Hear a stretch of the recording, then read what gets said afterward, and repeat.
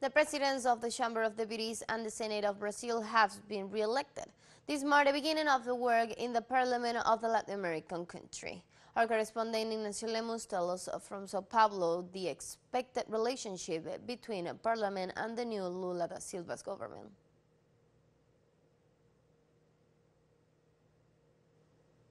Brazil began its activities with the re-election of the presidents of the two chambers. In the Senate, Rodrigo Pacheco prevailed over Bolsonarista Rogério Marinho, who, if elected, promised the impeachment of the Supreme Court judges investigating the former president's circle. For the ruling party, the result was a victory.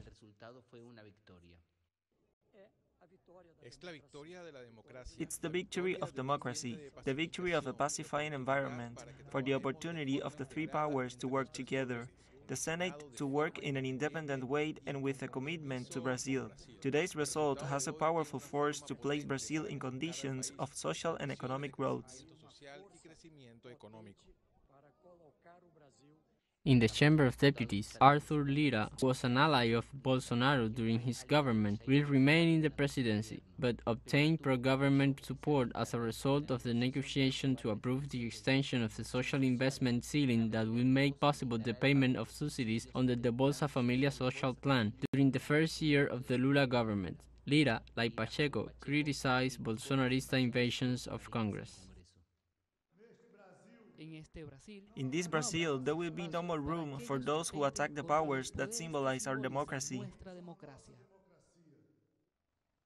The result was within the progressives' calculation. The upcoming dispute in parliament will be the tax reform proposed by Lula. In addition, a sector of the Senate is pushing for a parliamentary commission to investigate the crimes of Bolsonarismo, while the former president's circle intends to counterattack by filing impeachment petitions against members of the judiciary and even against the executive branch.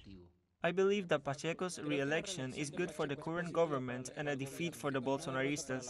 The same with Arthur Lira, despite his coming from the Bolsonarista base. However, I believe that after the elections of last October, we will still have some favorable context for the Bolsonaristas.